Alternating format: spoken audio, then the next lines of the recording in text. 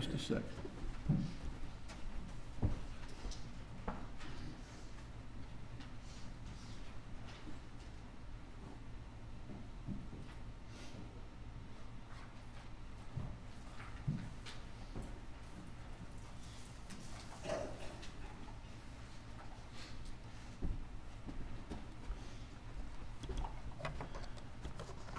Text for sermon for this hour is 1 Timothy chapter 3, primarily verse number 16, as we talk about uh, mystery at this particular hour. Adam has read for us our text. And let's begin our thoughts by just thinking about what a mystery is. Mystery is something that is puzzling, something that is unknown. You think of mysteries, you may think of Sherlock Holmes, you may think of Edgar Allan Poe or some writer or work like that. It's not that a mystery cannot be solved necessarily, but it hasn't been solved yet, or it hasn't been solved by us. And we're a bit perplexed about it until we find out the solution, and we may realize it was right before our eyes all along. We're sort of foolish at how easy, easy it was to solve. And so a mystery, something puzzling, not that it can't be found out, but we haven't found it out yet. You may have heard the story about a man named Juan. Juan came up to the Mexican border on his bicycle. He had two bags over his shoulders, and the guard stopped him and said, What's in the bags? And he said, Sand. And the guard said, I'll bet. Get off your bicycle and let's see what's in the bags. And the guard ripped the bags open, poured it down on the ground. It was sand. And he said, I'm going to detain you tonight. I'm going to send this sand off to a lab and have it analyzed. And he did that. The next day, come to find out, all Juan had in the sacks was sand. And so he sent him on his way. The next week, Juan rode up on his bicycle again with two sacks over his shoulders, and the guard said, What's in the sacks? He said, Sand. Guard ripped the bags open again, poured it out of the ground. All it was was sand. And so Juan went on his way. And this process continued for three years, coming to the border every, every week, two bags of sand, and taking that sand into Mexico. Finally, one day, Juan didn't show up, and the guard met him in a restaurant in Mexico and, and started talking to him. He said, Juan, I know that you're smuggling something across the border, and for the life of me, I don't know what it is. It's been driving me crazy. I've been up all night, can't sleep, trying to figure out what it is that you're bringing across the border. And Juan looked at the guard and said, uh, Bicycles. I've been smuggling bicycles. Right before the guard, all that time, it really wasn't a mystery if he'd used his head to think about it, but uh, the bags were a decoy, I guess you might say. Not all mysteries are quite that easy to solve. There was a TV program on Unsolved Mysteries, and it dealt mainly with crimes that uh, had not yet been solved. Some riddles may never be solved in our lifetime, but we think about our text of 1 Timothy 3:16. Paul writes of a mystery. Without controversy, great is the mystery of godliness. God was manifest in the flesh, justified in the spirit, seen of angels, preached of the Gentiles, believed on in the world, received up into glory. Here was a mystery that is no longer a mystery. It has been solved for us, and Paul gives us the answer. The mystery of godliness, of course, is Jesus Christ Himself, and He's no longer a mystery to our world. At one time, this was a mystery to the prophets of the Old Testament. They predicted the coming of the Messiah, but all they had was just that predictions. Jesus came and proclaimed that He was the Son of God. He was met with skepticism, unbelief, even from His own family. John chapter 7, verse number 5. To them, Jesus was an enigma. He was a puzzle they couldn't quite figure out.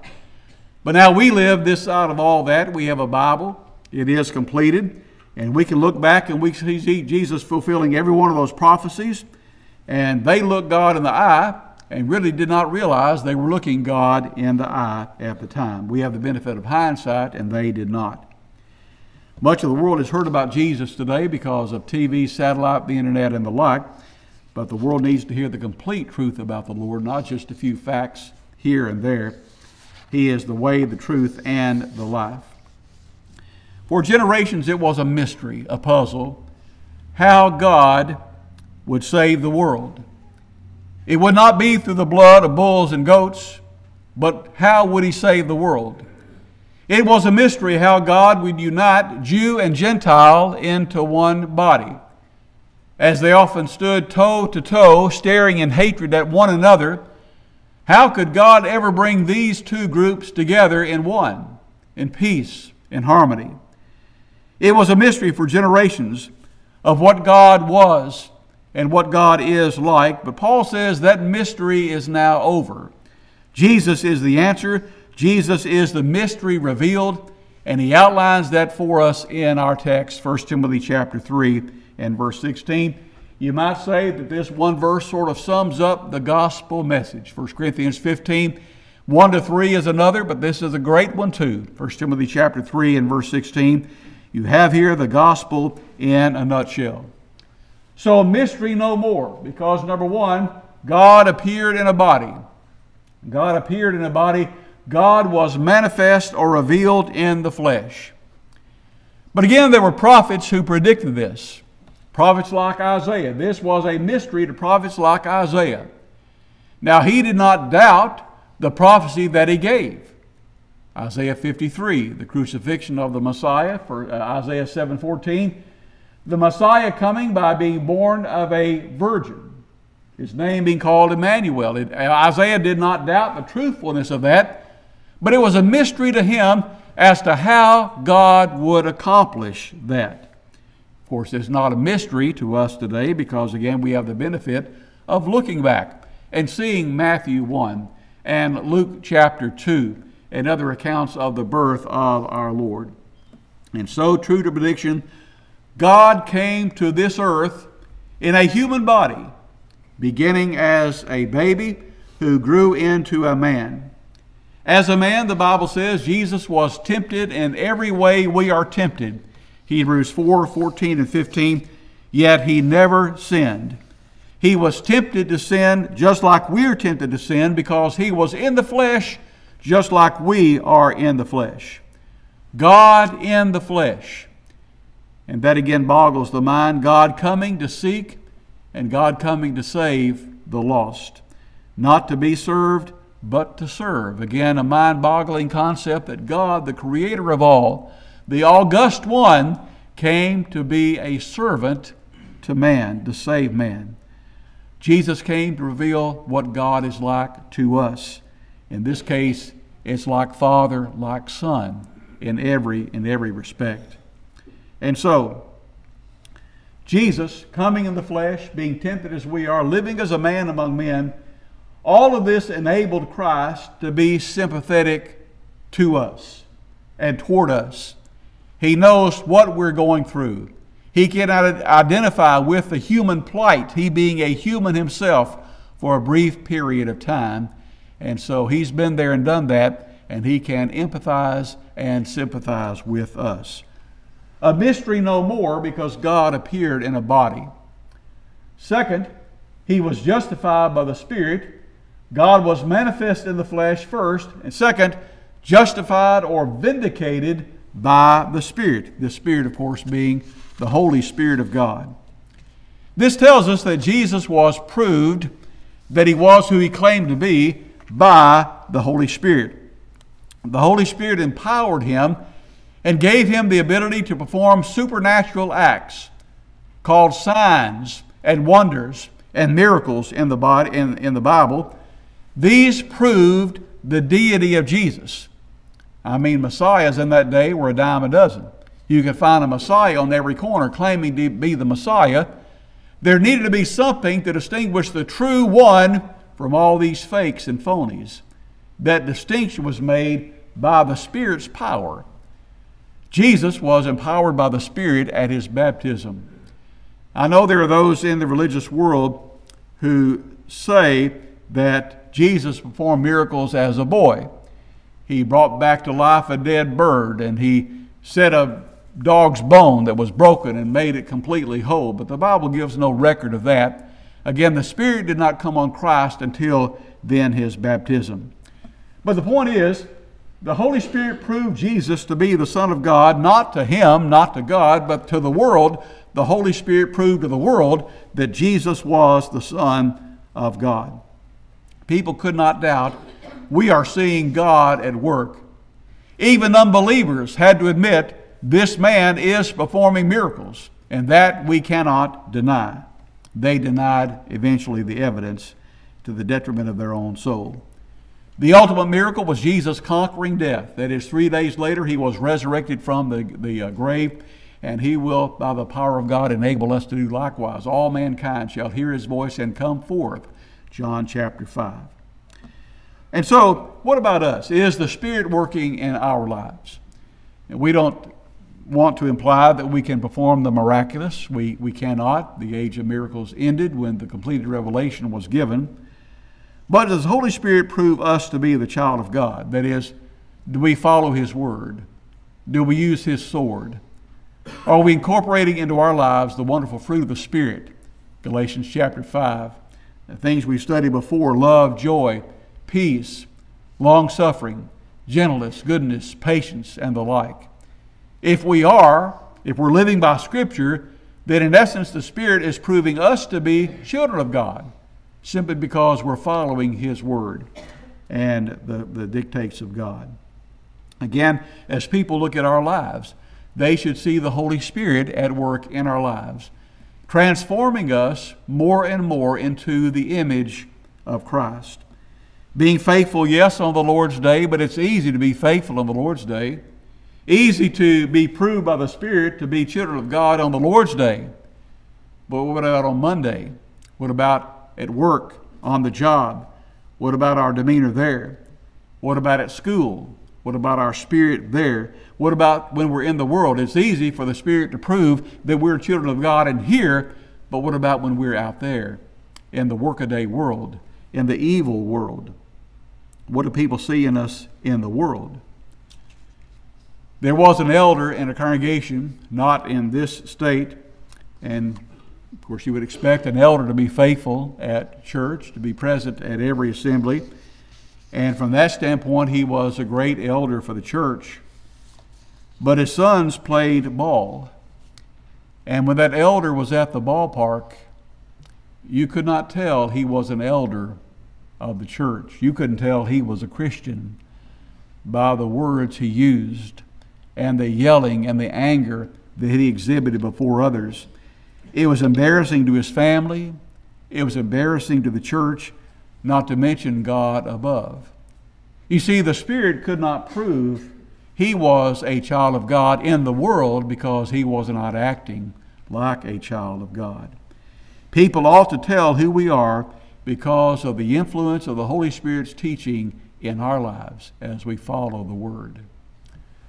Mystery no more. God was manifest in the flesh justified by the Spirit. Third, he was seen by angels. Verse again 16. And again, Jesus was seen by angels. In fact, he left the multitude of angelic beings in heaven to come to this earth, but here we speak of his being seen by angels on the earth. The angels saw Jesus at his birth. The angels came to Jesus, the Bible says, after his temptation. The angels came and ministered to him. Matthew 4, verse 11. And no doubt this happened perhaps many other times. It's not recorded for us in Scripture, revealing that Jesus was a human. That is, he was God in the flesh. He had a body just like ours that does get tired, that does need nourishment, that does need encouraging at times. He needed help just as we need help. He needed to be ministered to just as we do. And so the angels came and they saw the Lord and they helped the Lord. The Bible says that angels came to Peter. We'll study that in Acts 12, and they helped Peter get out of jail. The Bible says that an angel came to Philip and told him to go south and preach to one man, the Ethiopian eunuch. And what about today? Of course, is the big question mark. No question that angels were involved in Jesus' life while on earth, Peter's life while on earth, Philip's what life while on earth. What about those who minister to us today? Well, certainly, if we're married, we have a mate who cares for us. We have friends, obviously, who care for us. Can it be in a providential way that angels still care for the people of God? Again, in a non miraculous way? Are they assisting? Well, I don't, I don't know that, but I do know this. The writer of Hebrews said that angels are ministering spirits sent forth to those who will inherit salvation. Hebrews 4, or 1 rather, verse 14. And so, whatever angels may or may not do today, let them do what they do or don't do because we're not powerless to stop them anyway. We appreciate all the help, providential help we can get to make it to heaven. But we know for a fact that angels came and ministered unto the Lord. Mystery no more. Mystery no more because Jesus was preached among the Gentiles, manifested the flesh, justified by the Spirit, seen by angels, and preached among the Gentiles. And he's still being preached among the Gentiles and Jews and anyone who will listen today. Paul's marching orders are our marching orders today to preach the word, be instant in season, out of season, to reprove, rebuke, and exhort with all long suffering and doctrine. 2 Timothy chapter 4. We believe in the preaching of the word and the preaching about Jesus. It is God's ordained way for some people to, to be reached for Christ. We want to stick to that. We want to preach the Word. We want to point people to the Word. That's the only way people can be saved.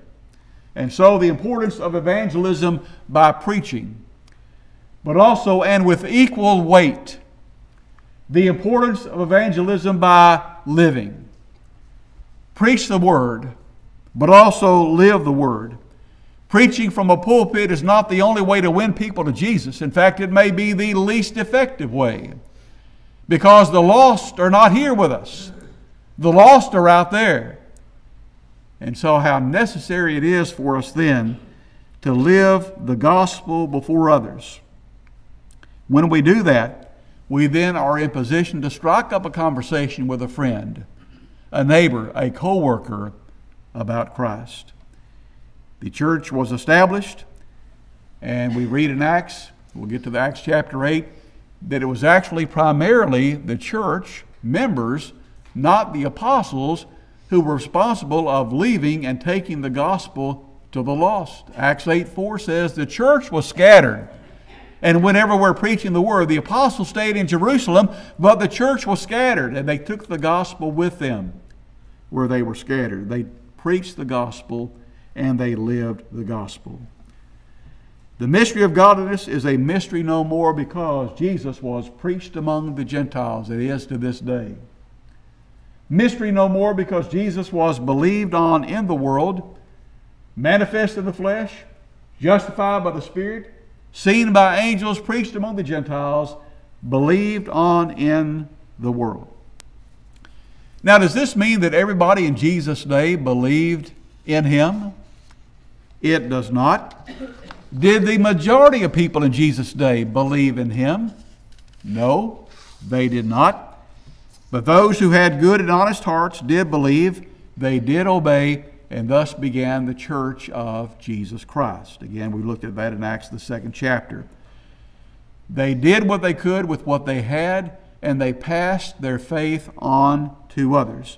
They knew that faith in the Lord is something too good to keep to yourselves.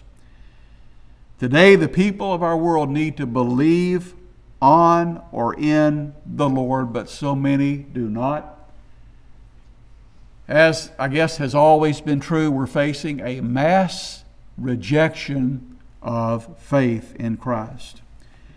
We're told that we live in a world that is too sophisticated for faith. We need something that you can duplicate in a laboratory, in science, in chemistry, we're taught that seeing is believing. And unless I see, I won't believe, and therefore no need for faith. The, a- the ranks of atheists are swelling, and people are rejecting their only hope of salvation, the only Savior there is. And like all of us, they too one day will die. And if they die in that condition, they die with no shred of hope not a shred of hope at all. For that reason, we thank God for the patient nation, nature that He has. Peter speaks of the long suffering nature of God. 2 Peter chapter 3 in verse 9, not willing that any should perish, but that all should come to repentance. Sometimes we wonder, as, as evil as our world has gotten, why hasn't God come back already and destroyed the wickedness in this world? And the answer, no doubt, lies in the fact that He's waiting for people to come around, waiting day by day in hopes that somebody else will become a Christian, that somebody else will be pulled from the fires of hell. Thank God for His patient nature. But as we know, His patience one day will be up. And until then, we want to be doing our utmost to help people believe on the Lord, people who are in the world. The mystery of godliness is a mystery no more because Jesus was believed on in the world. And then finally, the mystery of godliness is a mystery no more because Jesus was taken up into glory, manifested in the flesh, justified by the Spirit, seen by angels, preached among the Gentiles, believed on in the world, and then received up into glory. We know, of course, that that phrase is a reference to the ascension. Not long ago, we studied that in Acts, the first chapter. The disciples were Jesus on the mountain. He was giving them some, I guess, what we would call last minute instructions. And his goodbye was to be lifted from this earth. And literally, they saw him go up into heaven and vanished in the clouds. And their jaws must have hit the earth when they saw that. And uh, they went back happy and glad because Jesus had fulfilled the prediction that, of course, he had made. What a sight that must have been his being received up into glory. And as great a sight as that was for those men to see, we can't fathom what it was in heaven for Christ to come back to heaven where he left and then to be enthroned at the right hand of the throne of God, reigning as king over his kingdom as head over his church, you can just imagine the angelic celebration that occurred at the ascension and coronation of Christ in heaven itself. Jesus had to leave the scene in order to finish his Father's work. Jesus did finish his Father's work. As he died on the cross, some of his last words, It is finished Jesus finished the work that God gave him to do. And now it is simply up to us to carry on his work. We need to walk in his steps. We need to do his work. And God has left us neither alone nor helpless. We have his Spirit today through the Word to tell us what to do, how to live, how to worship, how to please God. We have the assurance that God will never leave us he will never forsake us. We're never alone. As, as we did sing a few moments ago, anywhere with Jesus I can safely go because He is always with us. Anywhere, anywhere, fear I cannot know. I'm afraid some sing that song as if anywhere, anywhere, fear is all I know. That's not how the song goes. That's not how it ought to be for the child of God. He'll never leave us, He'll never forsake us. We'll not be stranded here with no way out. He's given us the promise Greater is He who is in us than He who is in the world. 1 John 4 in verse 4. And as he told Timothy, he tells us that God has not given us the spirit of fear, but of power and of love and of a sound mind. 2 Timothy chapter 1 and verse 7. Friends, if we will continue living for Christ in the life that we've been given, then someday we also will be lifted up into heaven, all because of Jesus, and we will bask forever in the glory of the light of the Lamb of God. That is the mystery of godliness, 1 Timothy chapter 3, 16, which to us is a mystery no more. Jesus is the solution. Jesus is the answer. Some mysteries may never be solved this side of eternity. There's a program on TV called Cold Case Files. I like to watch those sometimes. And of course, those are cold cases of crimes that had not been solved, but were sort of resurfaced and eventually they were solved, but there are tons of cold case files that odds are will never be solved in this life. Some mysteries might not be solved, but the mystery of godliness, there's no doubt about that. The solution again is Jesus, the life, death, and ongoing work of Jesus in converting the lost. And so, some mysteries may never be solved, but how God would save the lost is no longer a mystery. The plan is plain. Putting my faith in Jesus, no doubt whatever, He's the Son of God. Repenting of sins in my life, I'm a sinner in need of a Savior. I acknowledge I am a sinner. I want to do better. Confessing Christ as Lord before men and being baptized in water that my sins might be washed away. We may not understand the exact how of forgiveness, but again, the mystery is plain, revealed. Baptism washes our sins away, Acts 22 16. And then my responsibility is to be a faithful child of God. And I stumble. We all do. We're all sinners this side of conversion. Then no need for baptizing, being baptized again and again. Simply the need for confessing that fault, repenting of it, people praying that we might be forgiven. Thank God that God sent His Son to die for mankind. Thank God for the plan of salvation. Thank God for His Word, which by we live, eh, we, we live by, we can't have a home in heaven. Respond this morning if you need to as we stand.